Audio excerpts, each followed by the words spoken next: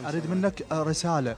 اليوم عندنا شبابنا تتجه للمقاهي ولأشياء شوائب على الشباب. رسالة منهم إنه يتوجهون لاماكن الرياضة ويمارسون الرياضة.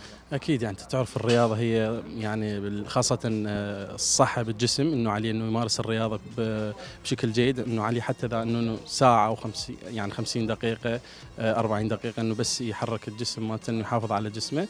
فأكيد إنه أنصح الشباب إنه يجون لهاي القاع خاصة هذا الجيم إنه آه، يمتلك كادر جيد ويمتلك أجهزة جيدة عليهم إنه يتواجدون بهذا القاع وقاع جيدة.